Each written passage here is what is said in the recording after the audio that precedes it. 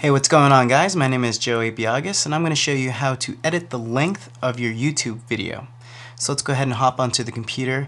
Now I'm going to be using this program called Adobe Premiere, Premiere Pro.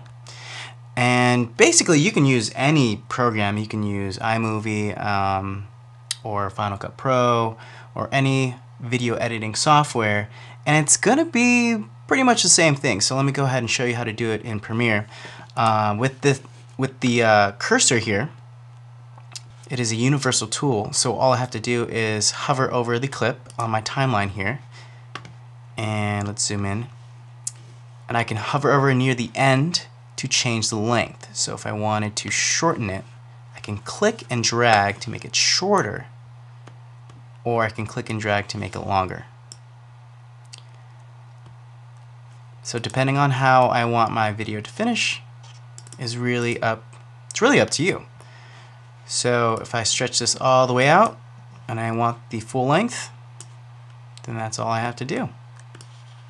And that's as far as it goes.